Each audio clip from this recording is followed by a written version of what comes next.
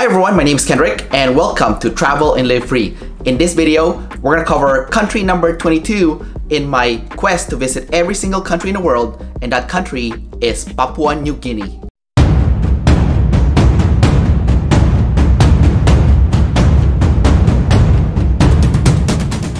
Now, I was really excited to go to Papua New Guinea because one of the things that I enjoy about traveling is going to really exotic places that most people will never go to and Papua New Guinea just screams exoticness. I also had a friend who lives there, his name is Daniel, and I was looking forward to hang out with him and get to know his home country and see how the locals live their life. However, when I went to Papua New Guinea, Daniel wasn't there yet. So when my flight was arriving at Port Moresby, Daniel would be out of the country for two more days before we would be able to meet up.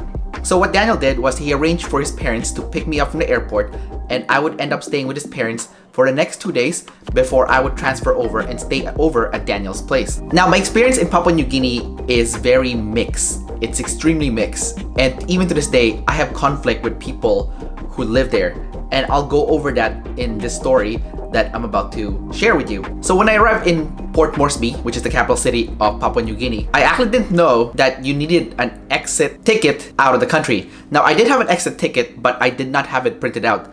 And I didn't have internet, so I couldn't show them on my cell phone that exit ticket. The good news is that the lady who was working in immigration just said, you know what, it's fine, just go through and gave me the visa to enter Papua New Guinea, which is actually for free. After I went through immigration, I had to wait in the lobby for quite some time because I think that her parents might have gotten stuck in traffic or they weren't sure what time I was arriving. But after waiting for a little over half an hour, they managed to pick me up and off we went and they took me to a Chinese restaurant actually, which was super good. So they have really good Chinese restaurants in Port Moresby. One of the things I learned about traveling in Papua New Guinea is that it's a very mixed country and a lot of people who live there are actually expats who are from United States, Taiwan, New Zealand, Australia, the United States of America, Canada, and just all over the world pretty much. And one of the reasons why they decided to move to Port Moresby is because there's a lot of opportunity to make a lot of money in this place. Now, Port Moresby is not a safe city. It's actually quite dangerous. But if you know how to navigate through the danger, then you're okay and there's a lot of opportunity to make money. So if you're someone that's really adventurous and you want to make money, you can go to Port Moresby and try your luck at earning money there. Do keep in mind that the cost of living there is extremely expensive. This is not a cheap country for tourists to go to. And I think if I didn't go visit my friend, I would have died from all the expenses I would have to pay from traveling in Papua New Guinea. So after resting the first day and getting acquainted with Daniel's parents, which was super cool, I actually like both of them. They're very nice people and I got along with the mom really well and me and the dad just hit it off actually. So the dad is one of those very domineering kind of individuals and I typically get along with those kind of people so we just got along really well.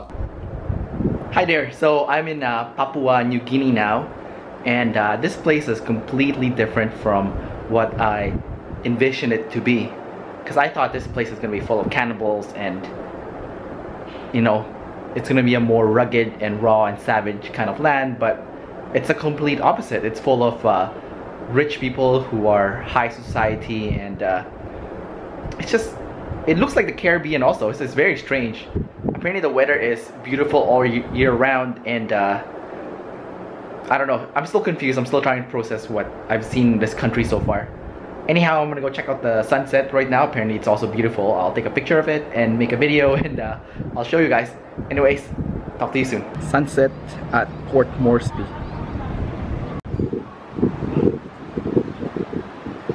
The next day he decided to pair me up with one of Daniel's friends and they took me to the FIFA World Cup soccer game for teenagers.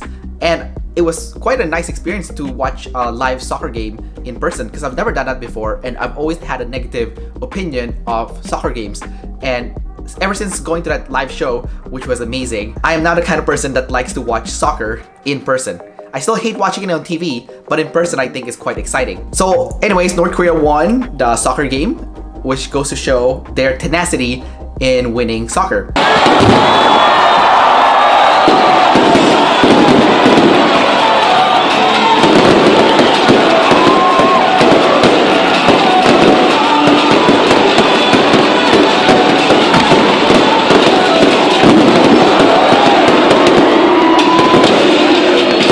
After we watch the soccer game, the following day, this was when things kind of turned bad for me. Daniel's friend decided to take me on a yacht and go sailing to this island in Port Moresby. And so far it sounds good, right? Like you're going on a yacht and you're going to go to a yacht country club and it's gonna be quite a nice experience. Actually, no, because I'm not the type of person that actually likes doing this rich people kind of stuff. Like when I got on the yacht and I met his friends, it was such a weird cliquey kind of group of people. And long story short, I just did not get along with them and they did not get along with me.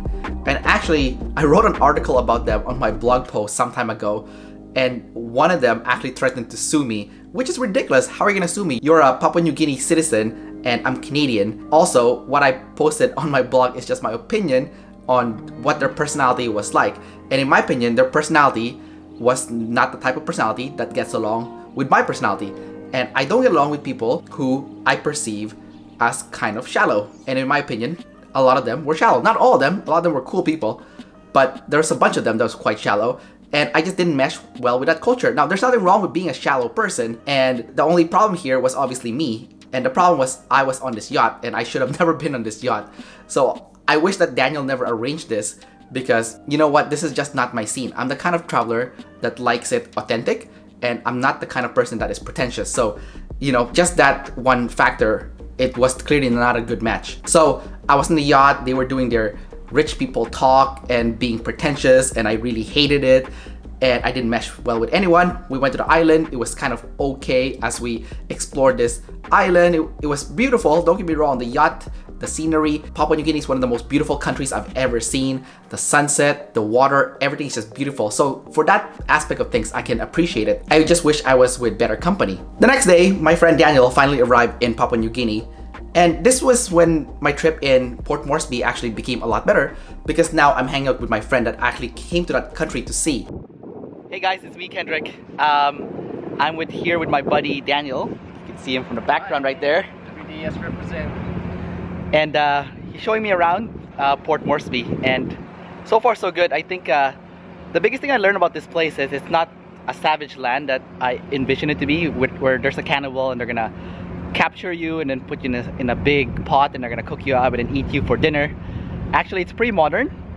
Although it's also a big contradiction because despite being really modern, their internet is still lacking and it's super expensive. I, I think uh, my buddy here was telling me $333 a month for uh, 2 gigabyte. Is it 2 gigabyte? Uh, 2 megabit. 2 megabit, yeah, speed. So it's it's quite expensive here. It's ridiculous. So um, it's also hard to get around for tourists but I believe if you get an Airbnb and you get to know the host then you can get around right you would say that yeah so I think the best way to get around here is to stay at an Airbnb get to know your host and then you could ask them where to go and perhaps they can even show you around and that's probably the best way to explore uh, Port Moresby because I think if you don't have the local help it's gonna be a lot of challenge and I think you'll also miss out on some of the stuff that only they would know. Like you can't find this online. So me and my friend, we just ate some Chinese food. He took me to play bowling, which was super fun.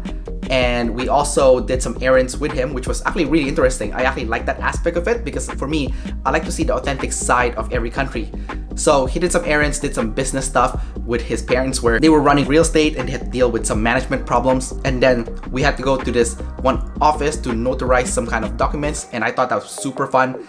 It was also one of the rare moments where we actually walk in the streets of Port Moresby because typically you're not allowed to do that because Port Moresby is a dangerous place. We got a chance to walk on the streets and that was really cool. Uh, later on, me and Daniel also checked out the port, took some pictures there. We also got a chance to check out the war cemetery, which was also very interesting to see the history during World War II with all the people that died during that war. We also got a chance to check out the adventure park, which was neat on its own right. And I enjoyed walking through that adventure park, checking out the different animals that's endemic to Papua New Guinea, and also just seeing some of the art and just the park in general in that area. I also got a chance to be just a normal person because after backpacking for several months, sometimes you just crave being a normal person again. So we did spend some time just hanging out in his apartment, playing some PlayStation, and it was super fun. Now, for one of the days that I was in Port Moresby, Daniel's dad actually asked him to talk to me about helping him out with his business.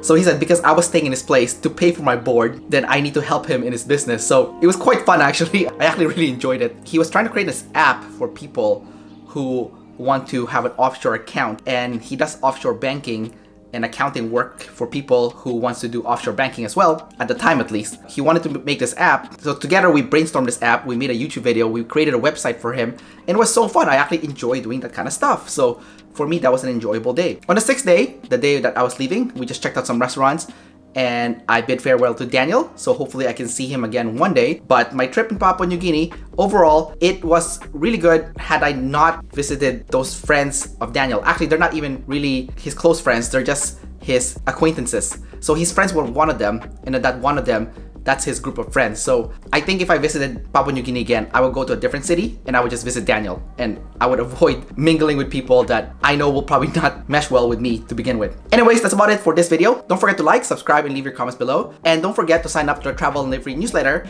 where you can get a 10-step cheat sheet on how to travel around the world. You'll also get the latest tips and strategies on how to save money on travel for Canadians, how to go on around the world adventure travel for Canadians, and how to use travel to get more freedom in your life as a Canadian. You can sign up for that newsletter in the description below. Until next time, I'll see you then.